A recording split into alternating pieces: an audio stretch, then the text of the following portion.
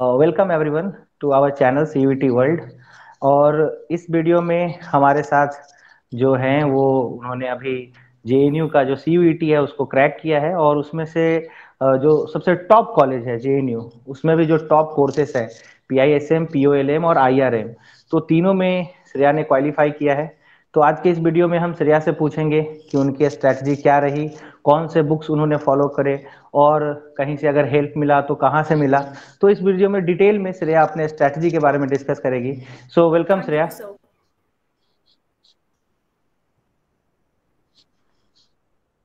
Okay Shreya तो आप अपनी सबसे पहले अपना इंट्रोडक्शन बताएँ कि आपने अपनी पढ़ाई कहाँ से करी और आपने अपना ग्रेजुएशन कहाँ से कंप्लीट किया। um, So my name is uh, Shreya Malvia, has already been introduced, and uh, I have done my matriculation by ICSE and ISC from uh, uh, Devghar, Jharkhand, and uh, I graduated with a major in political science and minor in philosophy from Kirodi College, University of Delhi, in 2022 itself, and uh, I would be next pursuing Masters in Politics with specialization in International Studies from SIS JNU next. Okay okay, sir तो जैसा कि हम ये जानते हैं कि जे भारत का अगर हम बोले तो जो सोशल साइंस का फ़ील्ड है उसमें नंबर वन पे आता है तो जैसे बहुत सारे स्टूडेंट ऐसे भी हैं जो कि इंग्लिश बैकग्राउंड से नहीं है हिंदी बैकग्राउंड से हैं और बहुत सारे स्टूडेंट ऐसे हैं जो आ, मतलब बहुत अच्छी इलीट यूनिवर्सिटीज से नहीं है ऐसे यूनिवर्सिटीज से हैं जहाँ पे पढ़ाई का लेवल उतना अच्छा नहीं है।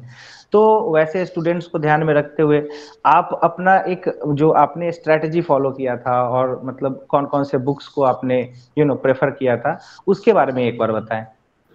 Okay, so um, so before giving a detailed glance of my strategy मैं पहले अपनी टाइमलाइन ऑफ़ प्रेपरेशन जर्नी की बात करना चाहूँगी to give a better idea to the fellow aspirants so हमारा बैच थोड़ा यूनिक था because this was the first time जो क्यू एड इंट्रोड्यूस हुआ और हमें वो काफ़ी लेट पता चला।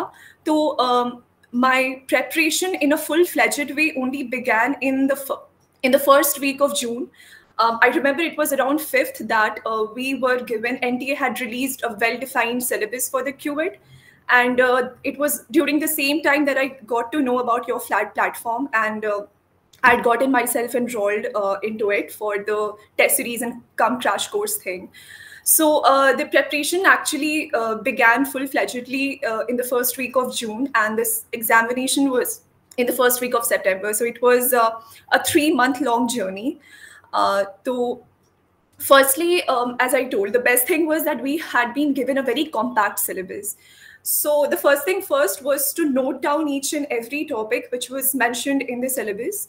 और uh, उसके बाद uh, मैंने सारे syllabus uh, simultaneously classes were also going on and the PDFs were provided for every topic simultaneously.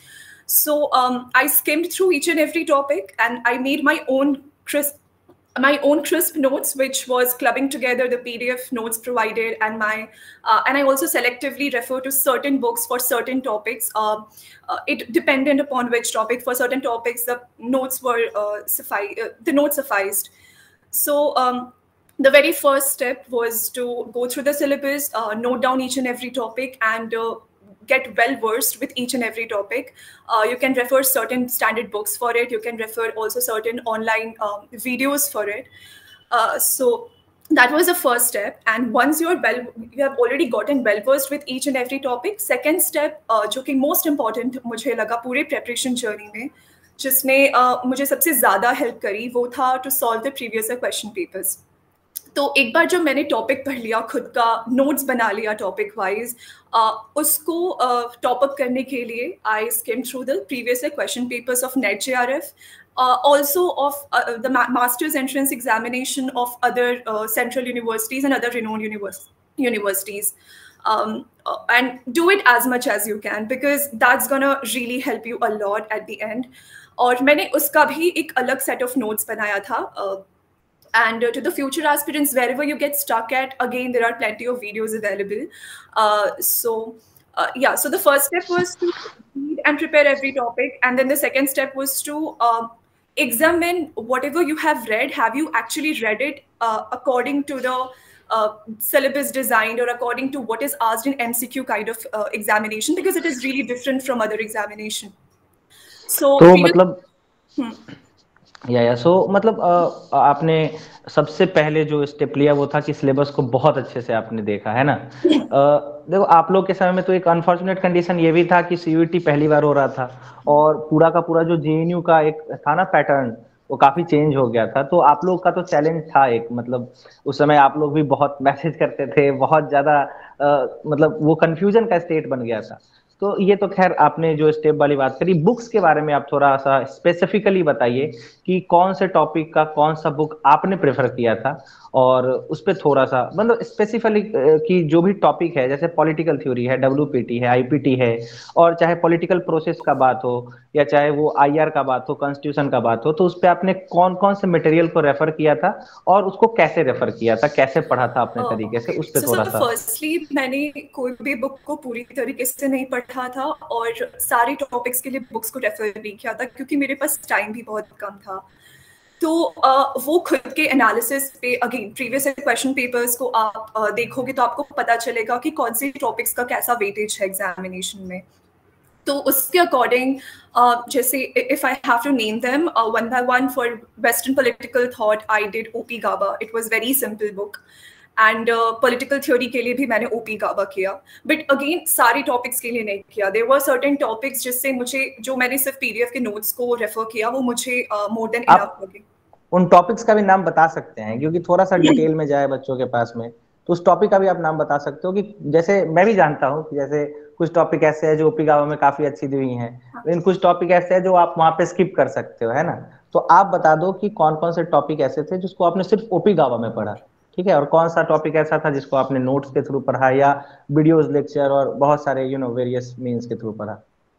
So so, uh, जैसे इंडियन पॉलिटिकल थॉट के मोस्ट ऑफ़ द थिंकर्स मैंने नोट्स और पीडीएफ नोट्स और YouTube से ही किया। Um, और जैसे कुछ थिंकर्स uh, थे जैसे कौटिल्या वगैरह थे उसके मैंने क्वेश्चंस देखे कि जो मैं नोट्स कर रही हूँ वो मोड वो इनफ नहीं है। तो उसके लिए फिर मैंने बुक को रिजॉर्ट किया। Um, और वेस्टर्न पॉलिटिकल थॉट मैंने नोट्स प्लस बुक दोनों किया क्योंकि उसका काफ़ी अच्छा वेटेज होता है। पॉलिटिकल थ्योरी के लिए uh, जितने भी आइडियोलॉजीज थे उसके लिए मैंने बुक्स प्लस नोट्स दोनों रेफर किया।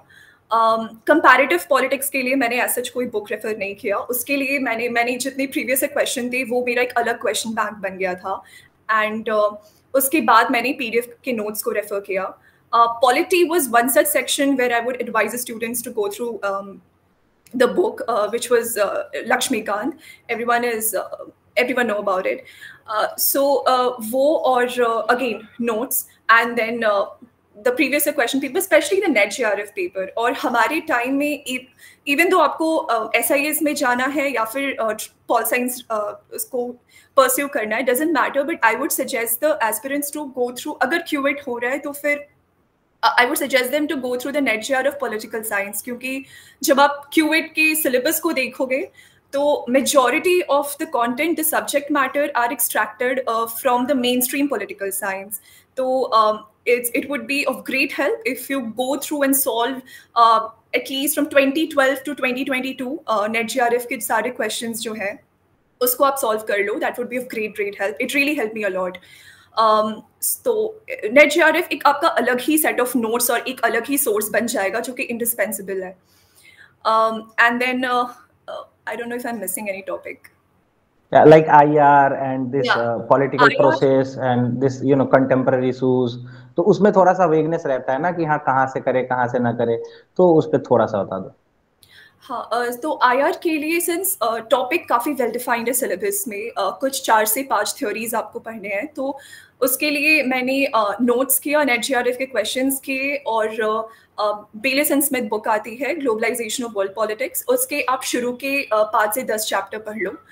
इवन कंटेम्प्रेरी इशूज़ में ही हमें वो खुद की एनालिसिस है कि for example questions on security globalisation human rights gender environment etcetera ये सारे टॉपिक्स भी आपके you can refer one of these either books, um, either of these books, uh, Glo- World Globalization, uh, या फिर Andrew Hibbard की Andrew Hibbert की book global politics या इन दोनों में से आप कोई भी एक बुक को रेफर कर सकते हो दोनों करने की ज़रूरत नहीं है. Then top it up with your own sources which you would tap on to here and there from online resources or the PDFs that you guys are providing.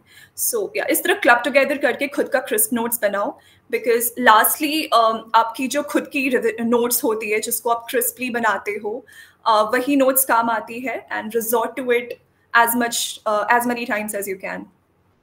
जैसा कि uh, आपने कहा कि जो नेट जीआरएफ के previous year paper है क्योंकि देखो मैंने भी जेएनयू का जब एग्ज़ाम क्रैक किया था उसके बाद फिर मैंने नेट जे का एग्ज़ाम दिया, उसको भी मतलब उसमें मतलब आप ये बोलो कि आप ये समझ सकते हो कि जो नेट जे का पेपर है ना, वो बस आपको ये सीयूटी या जेएनयू के लिए हेल्प नहीं करता है।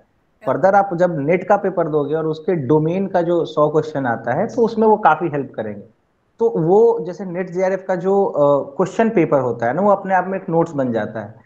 अगर वहाँ से उठा के आप सारे थिंकर के नाम लिखते हो सारे बुक्स के नाम लिखते हो जितने भी मेजर कोटेशन है उसके नाम लिख लेते हो तो एक डायरी जैसी बन जाती है। और वो मुझे लगता है कि लगभग सारे जो स्टूडेंट है जिन्होंने सीरियसली किया है प्रिपरेशन उनके पास वो डायरी होगी जिसमें उन्होंने नेट जे के सारे क्वेश्चन लिख रखे हैं। तो ये आपने मतलब कि काफ़ी अच्छी बात कही काफ़ी इंसाइटफुल बात कही। तो क्योंकि आप एक बुक बहुत बार पढ़ पढ़ लोगे बट जब तक आप क्वेश्चन ही लिखोगे कि एनडीए कैसे question you will never know कि Uh, हमने जितनी मेहनत करी उसका बस ट्वेंटी परसेंट इज़ आस्ट और जो चीज़ हम नेग्लेक्ट कर रहे हैं actually that is the low hanging fruit so that will only be known if you go through the previous question paper so that's if I have to advice any one short stop thing to the fellow aspirants it would be never to neglect the previous question papers specially the NET J R F papers at any cost okay okay. So so, uh, एक question और था कि जैसे आपने अपनी पढ़ाई D से करी है है ना? Yes, तो sir. आपने अपनी पढ़ाई डी से करी है। लेकिन बहुत सारे स्टूडेंट ऐसे हैं जो दो प्रकार के स्टूडेंट हैं। पहले वो जो कि uh, मतलब बहुत अच्छे कॉलेज से नहीं है। से फॉर एग्जांपल बिहार के किसी यूनिवर्सिटी से है यूपी के किसी स्टेट यूनिवर्सिटी से है। तो वहाँ पे उनको एकेडमिकली उतनी अच्छी पढ़ाई नहीं थी होती। उन लोग का इंग्लिश भी उतना अच्छा नहीं होता है। काफ़ी लैक करते हैं। और वहाँ पे उनको मतलब एक कॉन्फिडेंस की भी कमी होती है। तो आप मतलब क्या कहना चाहोगे कि वैसे स्टूडेंट्स के लिए अब सीयूईटी के आने के बाद क्या जेएनयू जैसे इंस्टीट्यूशंस में एडमिशन पाना मतलब हो सकता है उनका एडमिशन या वो कर सकते हैं? इस पे आपका क्या मतलब? आप क्या कहना चाहोगे? ओ sir one second so I think बिल्कुल कर सकते हैं क्योंकि nowadays thanks to the ever expanding digital footprint हम देश के किसी भी कोने में रहे हैं if if you have internet if you have a mobile phone let alone laptop you can definitely avail through different sources which are online and जैसे मैंने पहले भी कहा someone like me who actually preferred to resort to the online resources than leafing through the pages of the heavy books um, उनके लिए काफ़ी helpful हो सकता है बट वही आपको सोशल मीडिया को काफ़ी जुडिशियसली यूज़ करना पड़ेगा और उसको काफ़ी ऑप्टिमम यूज़ करना पड़ेगा उसका। तो um, आजकल बहुत सारे किसी भी टॉपिक पे wherever you get stuck at just type it online Google it online and आपके कॉन्सेप्ट क्लियर हो जाएँगे। There are plenty beautiful videos about it segregated beautifully topic wise if you are particularly talking about political science um, तो I think अगर आपके पास internet है and then you have devised a very well plan good strategy and you have that art of time management I think you can definitely do it और at the end of the day self study is the key तो syllabus आपके पास है सबसे अच्छी बात है कि काफ़ी वेल डिज़ाइन सिलेबस है। उसको हमेशा uh, साथ रखो क्योंकि that is the first and the only guide for you and उस, उस उसके बाद you have your own sources और सेल्फ uh, स्टडी पे रिजॉर्ट करो and make your own notes again as earlier mentioned do the judicious use of the online resources and you can definitely do it if i can do it everyone can do it see बहुत मतलब कि important बात कही आपने और देखो ये तो खैर सच्चाई है कि अब इंटरनेट के कारण जो बहुत दूर बैठे ऐसे स्टूडेंट भी हैं वो एक्सेस कर सकते हैं ठीक है? तो और मतलब पहला तो ये हो गया। दूसरा कि अगर कोई ऐसा आ, मतलब स्टूडेंट है जो कि नॉन पॉलिटिकल बैकग्राउंड से नॉन पॉलिटिकल साइंस बैकग्राउंड से है तो क्या मतलब उनके लिए कितना टफ है और उनके लिए क्या क्या चैलेंजेस है उस पर आप क्या कहोगे? सो आई थिंक ज़्यादा चैलेंजेस नहीं है क्योंकि ए अगर कोई कोई भी बच्चा रिस्पेक्टिव ऑफ़ हिज डोमेन वो इस एग्ज़ाम को देना चाह रहा है मतलब उसकी इंटरेस्ट काफ़ी है इसमें तो if you have the interest in the in this discipline uh, you can definitely get going. There were many friends of mine who are not from political science uh, graduation background. Uh, kuch BTech students hai. I have come across students who are from uh, science, mathematics honors and BSc. Uh, but um, again as I told अगर you just have to devise a good strategy और and you have every resources there you can join platform like what you provide और सही guidance है सही source है सही strategy बनी हुई है टाइम मैनेजमेंट अगर सही से कर सकें तो फिर I think it's it's very much possible okay so last question है कि सबसे पहले देखो पॉलिटिकल साइंस के बारे में तो खैर बहुतों को पता है। पर सबको पता नहीं है पीआईएसएम के बारे में, जो कि एक स्पेशलाइजेशन है ना politics with specialization in international relation या आईरएम के बारे में कि जो एरिया स्टडीज़ है। तो उस पर आप क्या कहोगे? पीआईएसएम कोर्स आपने लिया है। तो पीआईएसएम कोर्स के बारे में थोड़ा सा बताओ, और अगर आईआरएम के बारे में बता सकते हो या आपको बताना है तो उसके बारे में भी थोड़ा सा बताओ, क्योंकि पॉलिटिकल साइंस तो हम सब जानते हैं कि हाँ वो ऑनर्स होता है और उससे एमए करना है मास्टर्स करना है। पीआईएसएम और आईआरएम का क्या है, वो आप बताओ। अच्छा सर सो क्यूएट एग्ज़ाम की बात करें तो जो हमारा कोर्ड था P G Q P forty two it basically entailed three papers three subject three courses political science politic P I S M politics with specialization international relation and third was international relation and area studies तो जब हम graduation में पढ़ाई करते हैं तो जो main stream domain जो मेन स्ट्रीम डिसिप्लिन जो पॉलिटिकल साइंस है उसका एक बहुत सिग्निफिकेंट चंक बहुत significant sub discipline international relations भी है। Um, तो मास्टर्स में आकर के जब आप बेसिकली स्पेशलाइजेशन पे ध्यान देते हो वहाँ पे उसके दो ब्रांचेस हैं जो जेएनयू में स्कूल ऑफ़ इंटरनेशनल स्टडीज़ में है एक आई है international relation and area studies और एक P I एस एम है in international relation basically you and area studies basically you focus on the international relations theory and basically globe को आप different geographical areas में divide करके uh, areas की specific study uh, करते हो in PISM, uh, it's also under the School of International Studies.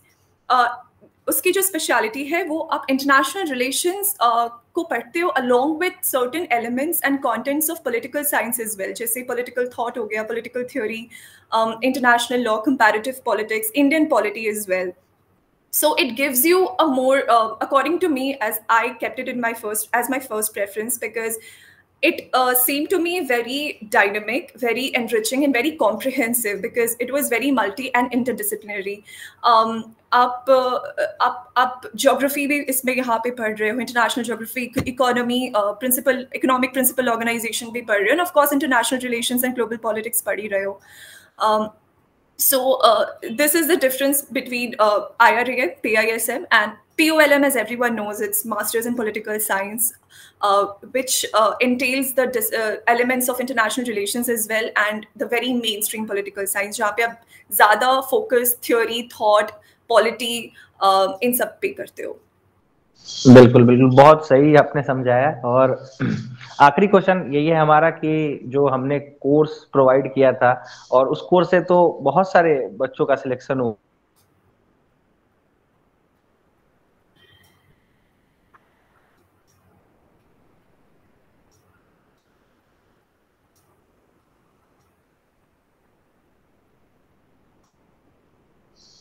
hello yes am i audible? Sorry for the interruption शायद किसी का कॉल आ गया था। तो जो हमारा कोर्स था वो कितने हद तक आपको सपोर्ट किया? और आपको सपोर्ट करने के अलावे जैसे जो स्टूडेंट हैं जो मैं समझता हूँ कि जो पॉलिटिकल साइंस बैकग्राउंड से नहीं है तो उनके लिए कितना हेल्पफुल हो सकता है जो हम प्रोवाइड करते हैं? उस पर अगर आप कुछ बोलना चाहो। Yes sir it help me क्योंकि जैसे मैंने कहा कि मेरा प्रेपरेशन फुल फ्लेजडली स्टार्ट हुआ जून के फ़र्स्ट वीक में, जब मुझे इस प्लेटफॉर्म के बारे में पता चला। उससे पहले इवन दो आई न्यू कि मुझे ये कोर्स आगे परस्यू करना है but the preparation was very distorted क्योंकि एक तो अनसर्टेनिटी अनसर्टेनिटी थी अनसर्टेनिटी थी कि जे एन यू ई होगा या क्यूएट होगा।